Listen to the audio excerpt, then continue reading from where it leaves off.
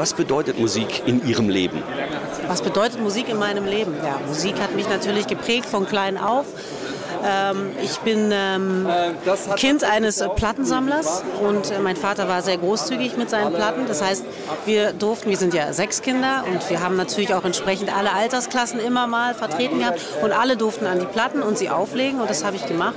Insofern äh, hat Musik schon relativ früh äh, einen großen Platz eingenommen in meinem Leben.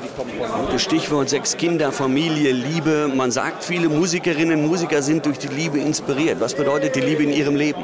Ich glaube, die Liebe inspiriert alle Menschen, äh, Dinge zu tun und sich auszurichten.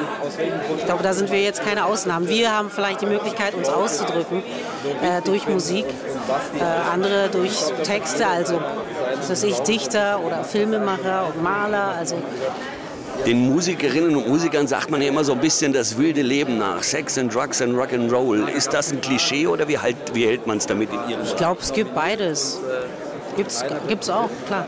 Also ich bin jetzt nicht Sex and Drugs and Rock'n'Roll. Also in der Kombination zumindest nicht. Letzte Frage, was wünschen Sie sich für die Zukunft? Wie bitte? Was wünschen Sie sich für die Zukunft? Äh, Gesundheit.